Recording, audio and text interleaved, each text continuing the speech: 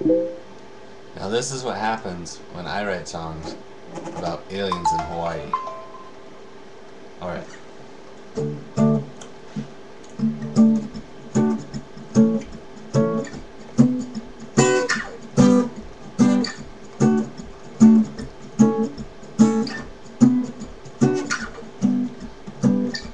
They rise out of the water like lava from volcanoes. Eat our sons and daughters. The cannibals are really just carnivorous mammals. They are blue. They are not from here. They are aliens, aliens, aliens.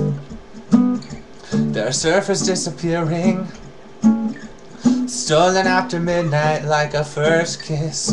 Government is fearing, cause they're not sure how to tax us if we disappear like this. They can fly, they might kill us all. They are aliens, aliens, aliens.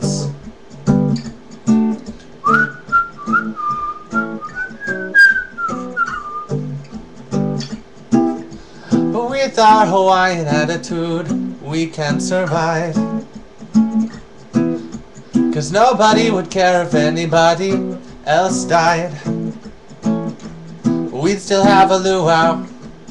We'd still have to hula on the beach. Cause everybody's worried. Cause the aliens are eating as we sing. But now they're full. They are leaving here. They are aliens, aliens, aliens.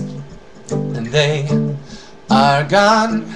I'm only half the man I used to be. They ate my legs because they're aliens, aliens, aliens. Aliens.